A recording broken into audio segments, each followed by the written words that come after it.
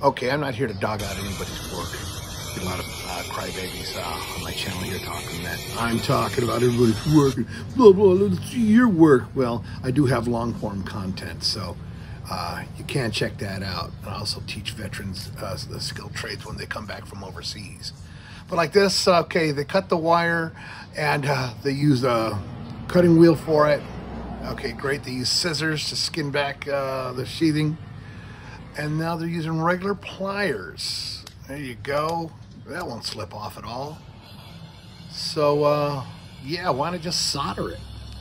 I mean, if you haven't got any, you know, compression tools, anything like that for compression lugs, I, I don't know where you'd, you'd use this because that certainly wasn't battery cable.